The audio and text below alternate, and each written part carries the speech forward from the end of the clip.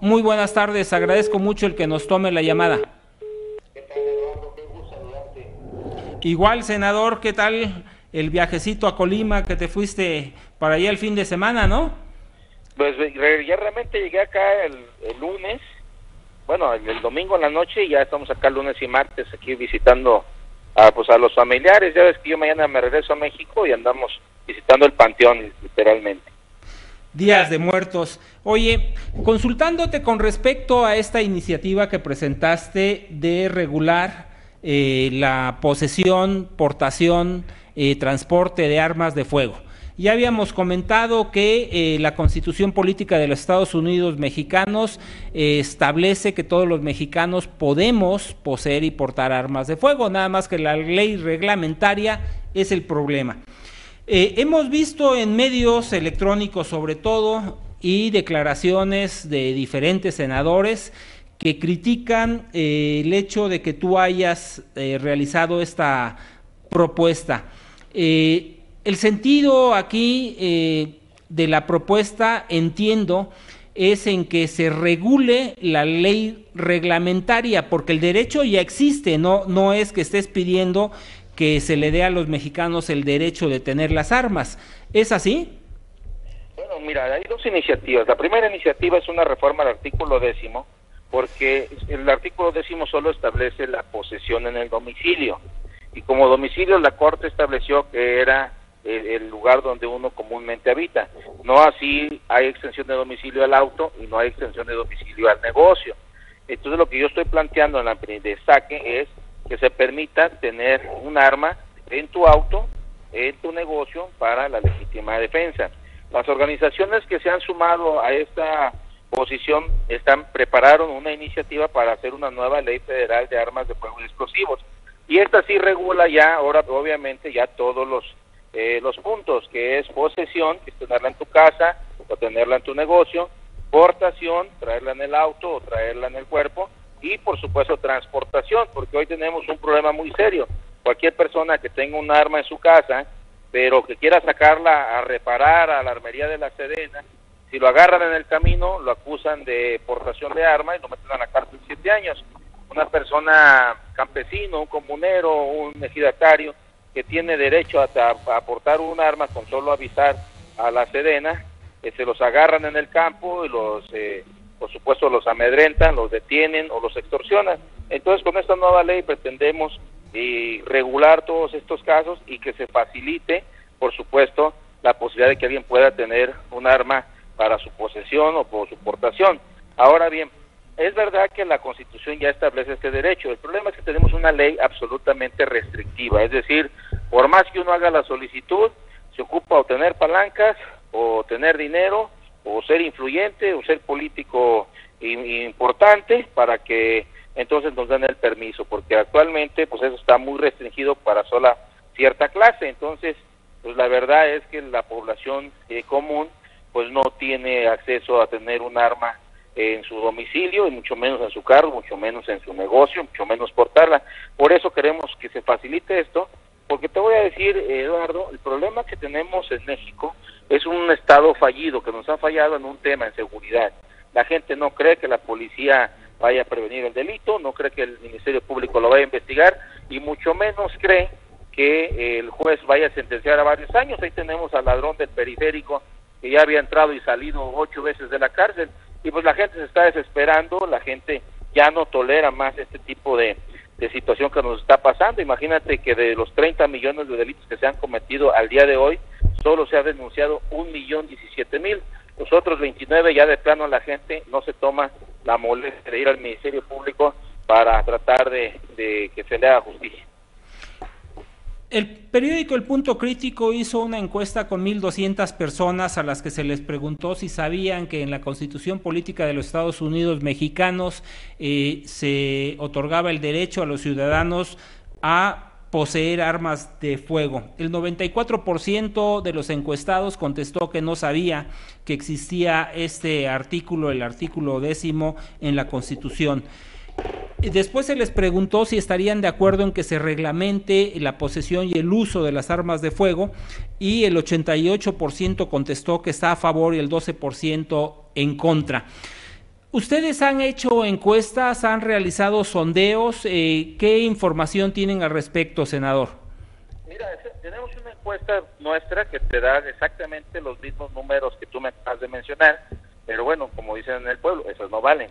Pero las que sí por ejemplo, Gabinete Estratégico de Comunicación acaba de encuestar también y sus, sus resultados son un poco diferentes a lo que tienes tú, pero coinciden en el resultado final, es decir, el 47% de la gente no sabía que, perdón, el 53% de la gente no sabía que tenían derecho a tener un arma en su domicilio y eh, cuando se les pregunta si están de acuerdo en que, pudiera reglamentarse y tenerse, el 59.3 nos confirmó que efectivamente estarían de acuerdo. Por eso hemos lanzado esta propuesta para que se convierta en, iniciativa ciudadana con 120 mil firmas para que los legisladores pues les hagan caso al clamor de la gente.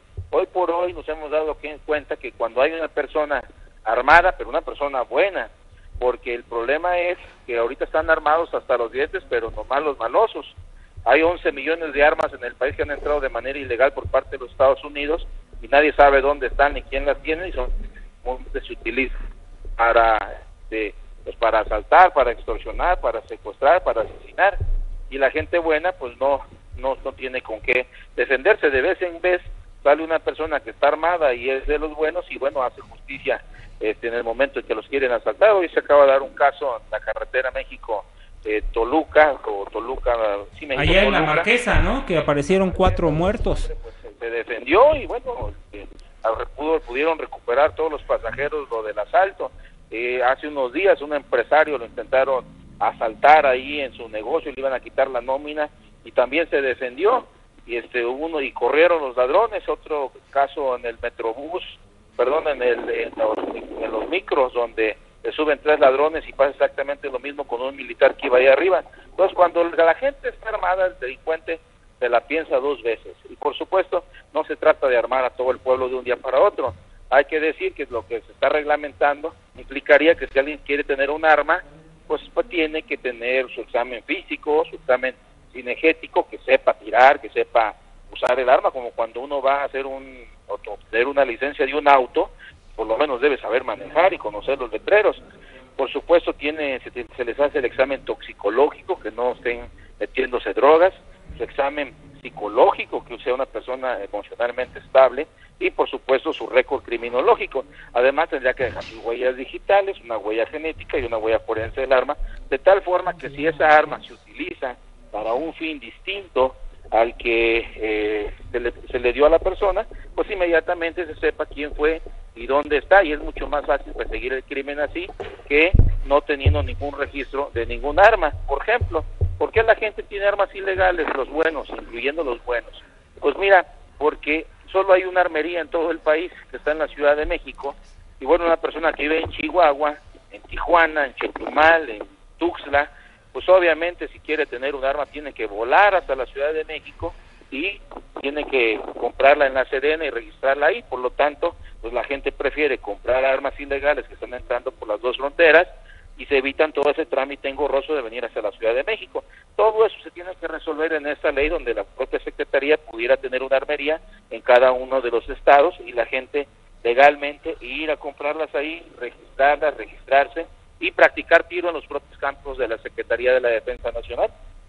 Se ha cancelado a través de los años, recuerdo 1971, donde eh, la Secretaría de la Defensa Nacional daba instrucción a todos los ciudadanos en eh, el ámbito eh, militar, inclusive en el manejo de las armas. Y esto ah, a través de los años se ha cancelado. Los ciudadanos no podemos acceder al manejo de armas ni tener instrucción militar. En esta eh, ley que tú estás proponiendo, ¿se restablecería eh, la obligación de que todos los ciudadanos estuvieran preparados para la defensa de la nación? Sí, por supuesto. Mira, ese país siempre estuvo armado, hay que decirlo también. Nosotros nacimos con la constitución, bueno, tuvimos la independencia en 1821 realmente, este, y la primera constitución que se, que se hizo en 1824 eh, literalmente copió la segunda enmienda de los Estados Unidos que nació en 1791, la cual dice que el ciudadano tiene el derecho a la legítima defensa. Y luego la gente me pregunta, y digo, te lo comparto, Eduardo, además de agradecer el espacio, ¿qué es la legítima defensa, la mentada legítima defensa. No y tiene que ver con el derecho a la vida. Tú tienes derecho, tu bien jurídico más importante eh, que puedes tener eh, en el planeta es estar vivo. sí, porque si no los demás derechos no tienen ningún sentido, ¿no? Sí, porque si no estás vivo, pues no, no puedes ejercer ningún otro derecho. Entonces, el derecho a estar vivo es lo más importante que tiene un ser humano. Pero yo, yo tengo derecho a vivir como tengo el derecho o la obligación de respetar la vida del otro. Pero ¿qué sucede cuando el otro atenta contra mi vida o contra la de mis seres queridos? Entonces, yo el Estado no me puede prohibir a mí que, me, que no me defienda. El Estado no me puede decir, pues mira, no te, no, no, te defiendas, aunque sea de por medio tu vida o tu integridad física, porque es un derecho natural al que yo tengo la obligación de responder. Eso es la legítima defensa, cuando un ser humano ve en riesgo su integridad física, su libertad, su vida o la de sus familiares, pues que tenga el derecho de poderse defender. ¿Cuál es el problema? Que si no tenemos con qué defendernos, pues ese derecho nomás está en el papel y no se cumple en la realidad. Por lo tanto, el Estado debe permitir que una persona pueda tener un arma para su legítima defensa cuando se sienta en un estado de peligro grave. Entonces, nosotros lo que estamos apelando es a que se respete el derecho a la legítima defensa, porque lo respetó la Constitución del 24, la de 1836, lo recogió don Benito Juárez en la del 57, por supuesto puesto Venustiano Carranza en el 17, y ese derecho desaparece de la realidad en 1972. ¿Por qué desaparece? Porque a, a raíz de los acontecimientos de 1968 con el asesinato de estudiantes, y la represión en el 71, en el Alconazo, en el Jueves de Corpus, donde también lastiman a los estudiantes, pues empezaron a generarse grupos guerrilleros en Guerrero y Oaxaca, y entonces el Estado cancela esta posibilidad con esta ley federal de armas de fuego y explosivos de 1972, y hace 44 años que nos están diciendo que las armas son malas, que las armas matan, que las armas son de los delincuentes, inclusive hacen unas campañas para recoger armas en la, en la población de despistolización, la pregunta que yo hago, Eduardo, es ¿quién es aquella persona que va y entrega su arma a cambio de una despensa, de un electrodoméstico? Pues la gente es decente, el delincuente no va a entregar ningún arma porque esa es su herramienta de trabajo. Entonces, pues realmente este no lo seguimos desarmando a la población y los delincuentes continúan eh, siendo eh, armados. Entonces yo sí creo que eso nos pondría en equilibrio con la de la delincuencia y por supuesto permitiría que eh, disminuya el número de delitos que se están cometiendo en el país. El día de hoy la diputada Elizabeth Mateo sube un punto de acuerdo en la Cámara de Diputados donde exhorta a la autoridad, tanto federal como a las estatales, a que cumplan con su función de brindarle seguridad a todos los ciudadanos y expone también números bastante fuertes en el incremento de la delincuencia y de los crímenes.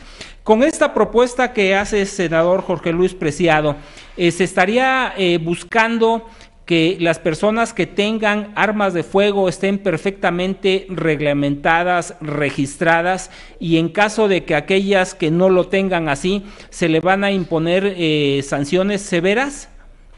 Pues así es como debe ser, así es como debe ser, pero primero reglamentemos bien cómo alguien puede tener un arma de, de manera legal y entonces ya que eso esté bien reglamentado y esté flexibilizado, entonces podamos decirle a los que lo tienen de manera ilegal que eh, pues van a ser sancionados si siguen portando así. Lo, interés, lo que queremos es que la gente buena que tiene un arma hoy, pues pase a una situación legal.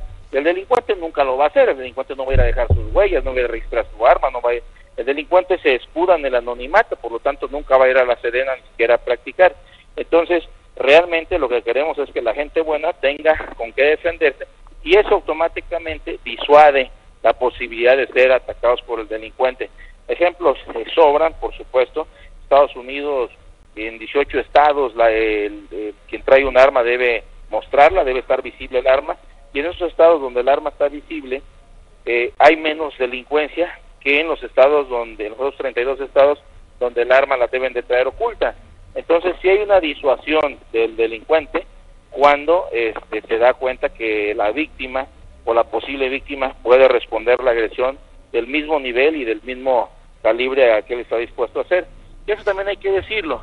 Eh, mucha gente me dice y no podríamos competir con la delincuencia organizada porque ellos traen armas de alto poder. En eso tienen razón, pero la mayor parte de los delitos no los comete la delincuencia organizada. O sea, la delincuencia organizada pues, tiene su propio tipo de, delitos de alto impacto, pero el, la mayor parte es el delincuente común, el que te asalta en la avenida Reforma con un cuchillo, el que se mete en tu casa cuando no estás, el que anda buscando extorsionar a las personas por teléfono, el que vaya amenaza, el violador, el secuestrador, es el delincuente común, es el delincuente que sí se detiene porque una cosa es querer ganar dinero y otra cosa es arriesgar su vida por ganar ese dinero. Entonces, yo creo que sí logramos eh, bajar los índices de delincuencia si la persona está preparada, capacitada y por supuesto tiene con qué defenderse. Inicialmente tú habías eh, presentado esta iniciativa de ley, eh, hubo un rechazo de muchísimos senadores y diputados.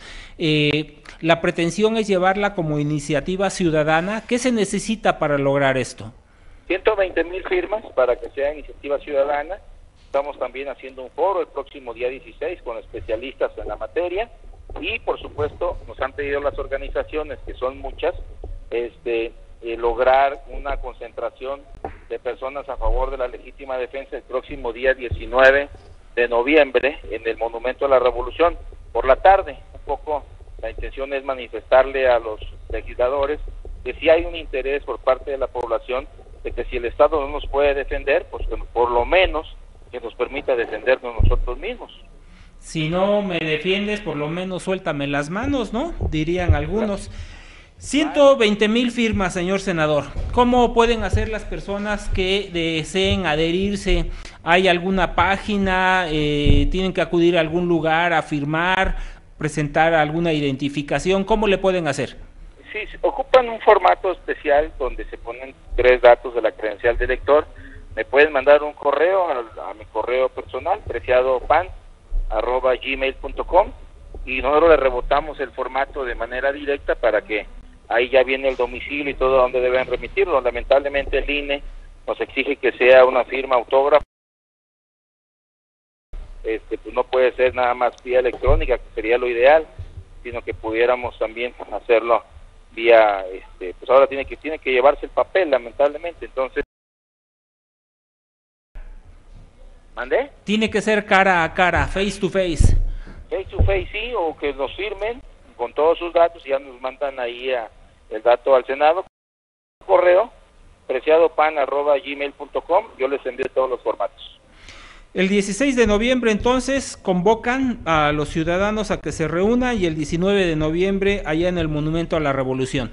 Así es, el 16 es en el Senado con especialistas, este, ya nos confirmó Jaime Sánchez Usarrey, ya nos confirmó un exponente norteamericano, John Lott, autor del libro Más armas, menos crimen, estamos leyendo, estamos invitando pues a varias personalidades del medio político, del medio eh, social, de la sociedad civil, del medio científico, escuchar a, a, los que están a favor y en contra, no solamente estamos invitando a los que están a favor, a las asociaciones de nacionales de México Armado, o, eh, la Asociación Nacional de,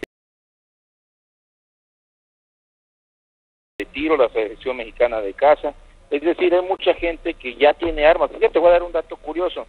Entre esas federaciones tienen un registro más o menos como de 125 mil personas con armas. ¿Sabes cuántos delitos se han cometido con esas 125 mil armas que tienen estos usuarios que están legalmente registrados en la Serena?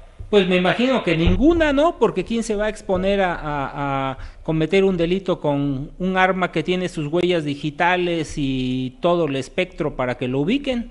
Efectivamente, no se ha cometido un solo delito. Por eso cuando nos dicen que en México no está preparado, por supuesto que sí está preparado, por supuesto que sí hay gente que tiene armas legalmente y por supuesto que hay cazadores, hay gente que tira al blanco, hay gente que lo dedica de manera deportiva, hay federaciones, hay gente que la usa de manera responsable o que solamente la tiene en su casa para cuando se le llegue a ofrecer. Por lo tanto, sí hay una cultura en la que la gente si se le capacita, se le prepara, se le explica, pues se da cuenta que eh, si el arma se utiliza adecuadamente, pues es una herramienta que le puede salvar la vida en algún momento. ¿Consideras que habrá suficientes recursos económicos para generar cultura y educación en este tema? Pues yo lo que creo es que si flexibilizamos la ley, mira, hoy por hoy, a partir de la iniciativa que presenté, pues ha generado una discusión a nivel nacional, no hay un restaurante en la mesa, cosa que no es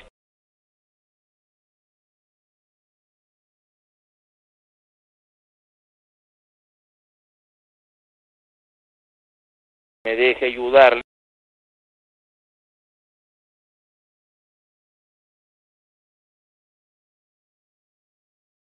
en mi negocio.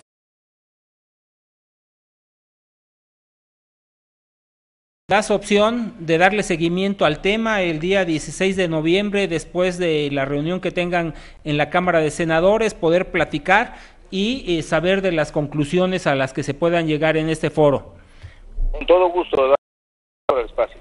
Te agradezco muchísimo. Es el senador Jorge Luis Preciado Rodríguez. Él es presidente de la Comisión de Federalismo es secretario de la Comisión de Marina, integrante de la Comisión de Fomento Económico, así como integrante de la Comisión de Relaciones Exteriores en la Cámara de, en la Cámara de Senadores. Muchísimas gracias. Hasta luego, Ha levantado ámpula, ¿no? Eh, a favor, en contra, la mayoría, lugar a dudas, dicen si está el derecho, decidir ejercerlo o no.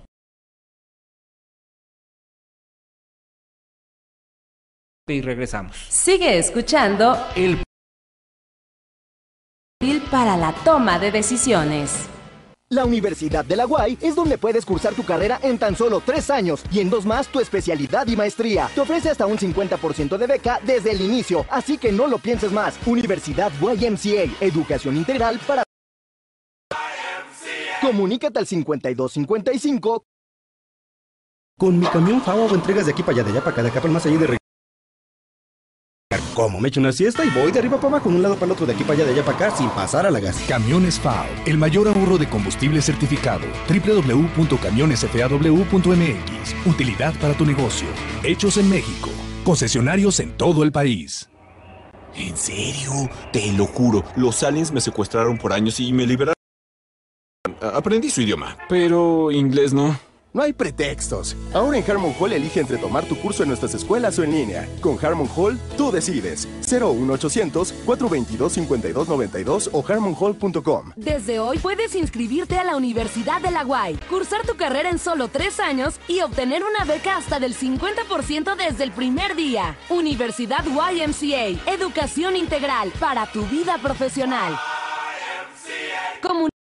5255-4719. Con mi camión FAO voy a la fábrica, vengo a la bodega, voy a la entrega, voy a la tienda, voy con el cliente, vengo al mercado, me paro en las quecas, voy a la fábrica, regreso a la sucursal, voy con un cliente, vengo con otro, voy y vengo sin pasar a la gas. Camiones FAO, el mayor ahorro de combustible certificado. www.camionesfaw.mx. Utilidad para tu negocio.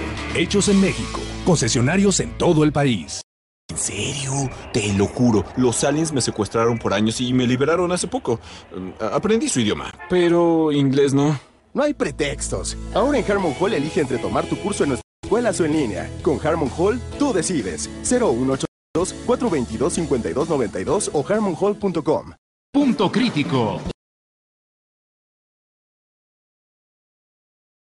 Reportajes. Espectáculos deportes y mucho más. Sigue las noticias minuto a minuto a través de www.elpuntocrítico.com. El Punto Crítico, información útil para la toma de decisiones. Facebook.com, diagonal El Punto Crítico. Twitter, arroba El Punto Crítico.